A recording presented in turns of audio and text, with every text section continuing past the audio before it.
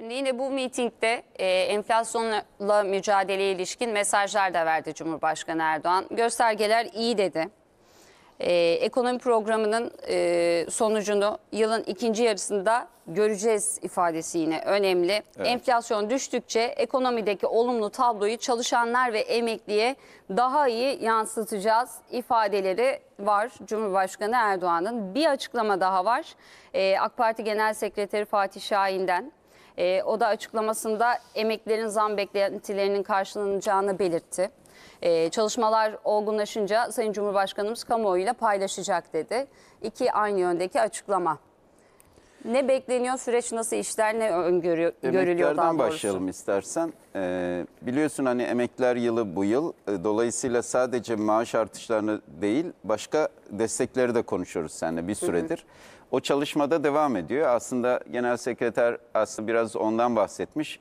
Ee, Sayın Başkan da e, özellikle enflasyonun düşmesi ile birlikte sağlanacak alım gücünün artması, refah payı bunların emeklilerle, çalışanlarla paylaşılacağını bir kere daha söylemiş oldu. Öyle gözüküyor ki önümüzdeki dönemde e, işte yılın ikinci yarısı yani Haziran'dan sonra e, düşecek enflasyonla birlikte, alım gücünün artmasıyla birlikte e, emekliler açısından da yeni destekler ve yeni e, artışlar gündeme gelebilecek. Tabii birkaç başlığımız var aslında bununla ilgili. Ee, özellikle geçtiğimiz günlerde konuştuğumuz bir çalışma vardı. Aile e, ve Sosyal Hizmetler Bakanlığı'nın bir emekli kart hizmeti. Birincisi bu zaten çalışılıyor. Öyle gözüküyor ki bir ki e, bazı belediyeler de bu kartlardan dağıtmaya başladılar. Mesela Gaziantep'te gördüm. Burada özellikle düşük gelirli emeklilerin e, verilecek kartla hem gıda hem de enerji desteği. İşte bunun içine nakit para yüklenecek. Onlar gidip e, bununla elektrik paralarını, doğalgaz paralarını ödeyecekler. Belli marketlerden alışveriş yapabilecekler. Onun dışında daha geniş kapsamlı bir çalışmadan bahsetmiştik burada. İşte yedi başlık atmıştık hatırlarsan. Belediyelerin olsun, ulaşım olsun, işte finans olsun, tatil olsun gibi. E, bu çalışmalarda değişik bakanlıklar tarafından hazırlanıyor. Bunu da öyle gözüküyor ki önümüzdeki günlerde veya e, seçimden sonra Sayın Cumhurbaşkanı kamuoyuyla paylaşacak ve meclise yasal düzenleme olarak gelecek. Onun dışında bir e, biliyorsun emeklerin çok böyle aslında kafalarını karıştıran ve burada da e, biraz e, mağduriyet oluşturan bir kök maaş ve taban maaş farkı var. Dolayısıyla kök maaşı çok düşük emekliler var. İşte 5 milyon 6 5 bin lira 6 bin lira gibi maaşlar var ki burada e, taban maaş alan e, işte 10 bin e, şey 6 milyona yakın yani 10 bin lira alan 6 milyona yakında emekli olduğunu biliyoruz. Burada kök maaşların taban maaşa yaklaştırılmasıyla ilgili bir çalışma da gündeme geldi. Yani şöyle diyelim ki alt, taban maaşı 10 bin liraya. Dolayısıyla burada kök maaş taban maaş ayrımını kaldırıp bütün herkesin en düşük maaşı 10 bin liradır denilebilir. Daha sonra da bu taban maaş biraz daha yukarı çekilebilir ki ben sana e, bir gün anlatmıştım aslında e, bu çalışmaları e, bahsederken özellikle iş kanunundaki değişiklikten. Temmuz'dan önce de taban maaş artışı yapılabilir diye. E, dolayısıyla bu çalışmada bir yandan devam ediyor.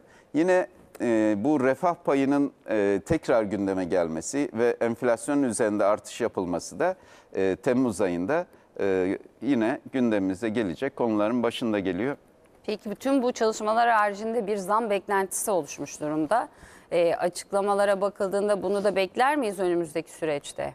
Yani e, belki bir ara zam olur mu? Yani maaşlara zam şeklinde değil ama onu söyleyeyim. Taban maaşın artırılması şeklinde olabilir. Başka bir formülle. Evet, onunla. Yani işte 10 bin liraya taban maaş. Bunun başka bir rakama çekilmesi. Yani rakam telaffuz etmek istemiyorum da. Çünkü yanlış anlaşılıyor. Hani sanki o bilgiyi almışım da veriyormuşum gibi. Halbuki bazen tahmini rakamlar söylüyorum. O yüzden o 10 bin liranın yukarı çekilmesi söz konusu olabilir. Çünkü geçtiğimiz yıl Temmuz artış dönemi beklenmeden taban maaş biliyorsun 5 bin liradan 7500 liraya çıkartılmıştı. Şimdi 10 bin liraya çıkartıldı.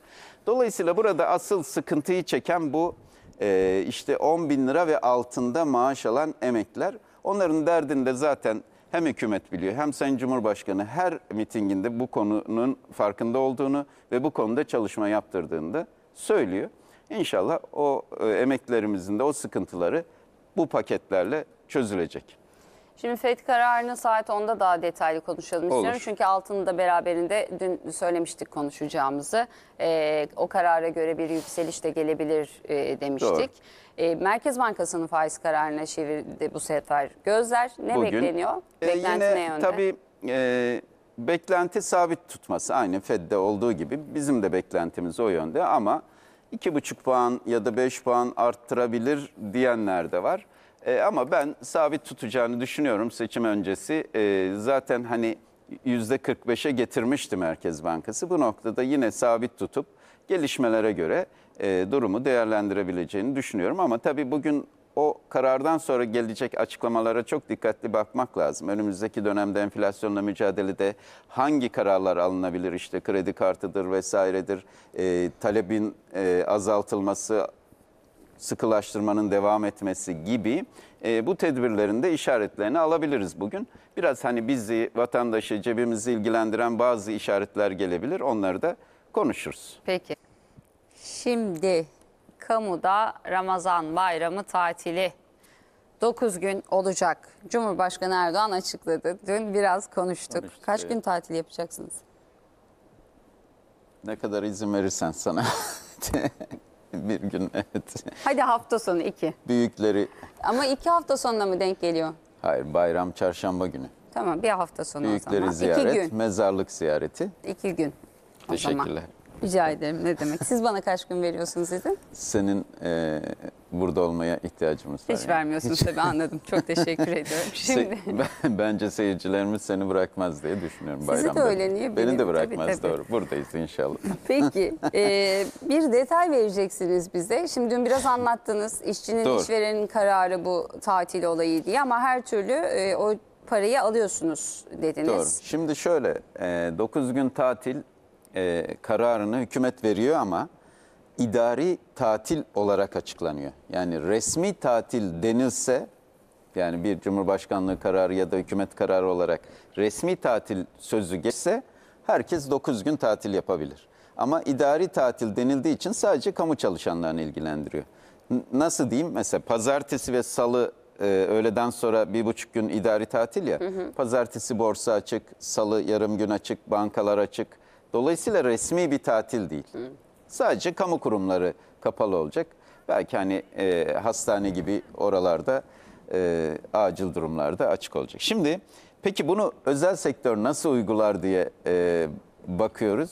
Üç formül var aslında. Özel sektörde uygulanabilir mi 9 gün tatil? Uygulanabilir. Yani isteyen uygular. Evet. E, yani üretimi devam etmiyorsa veya üretimi bir şekilde devam ettirecekse bir, işveren karar verir. Aynı bu Cumhurbaşkanlığı kararı gibi işveren der ki ben bu bir buçuk günü idari tatil ilan ettim ve e, 9 gün tatil yapabilirsiniz der. Eğer cumartesi pazarda tatil yapılıyorsa o şeyde o iş yerinde. Ama o iş yerinde cumartesileri çalışma varsa bu sefer der ki ben üç buçuk gün idari tatil ilan ettim 9 gün çalışabilirsiniz. Burada senin söylediğin gibi ücretler ve tüm haklar tam verilir. İkincisi işçi kararı. İşveren der ki ben çalıştıracağım kardeşim sizi. Bu sefer işçi der ki ben senelik iznimden kullanmak istiyorum. Eskiden senelik izin 3'e bölünüyordu ve 10 günden az olmuyordu. Şimdi bir gün bile senelik izin kullanabiliyorsun. Senelik izinle ilgili yasal düzenleme değişti. Dolayısıyla burada işçi der ki ben 3,5 gün e, senelik iznimi kullanacağım. Yani ücretli iznimi kullanacağım ve 9 gün tatil yapabilir. Dolayısıyla burada da yine ücretini tam olarak alır. Üçüncüsü telafi çalışması diye bir şey var. İşveren der ki tamam bu bir buçuk gün izin yapın ama bir sonraki hafta ki bu üç ay içinde yapılabilir size bir buçuk günü dolduracak şekilde fazla çalışma yaptır. Buna da telafi çalışması deniyor. Ne ücretli izinden düşülür ne de e, idari izin yapılmış olur burada. Bir üçüncü yolda bu. Ha bakacağız 9 gün tatil olur mu? E, özel sektörde onu da göreceğiz.